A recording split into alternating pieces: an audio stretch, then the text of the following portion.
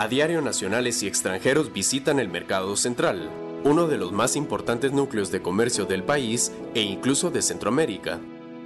El mercado central recoge colores, costumbres, olores y anécdotas de distintas generaciones.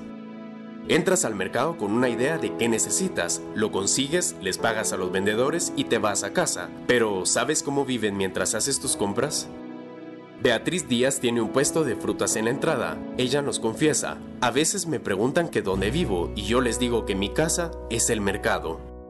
Historias como estas hay muchas. Cientos de comerciantes abren sus negocios desde las 4 de la mañana para empezar con buen pie el día y ofrecer a todos los visitantes productos de la mejor calidad.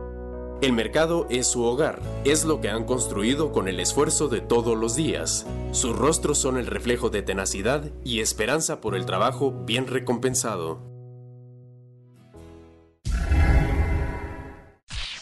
PubliNews, lo más importante de las noticias. Un diario internacional de Metro y del Grupo Emisoras Unidas, 50 años.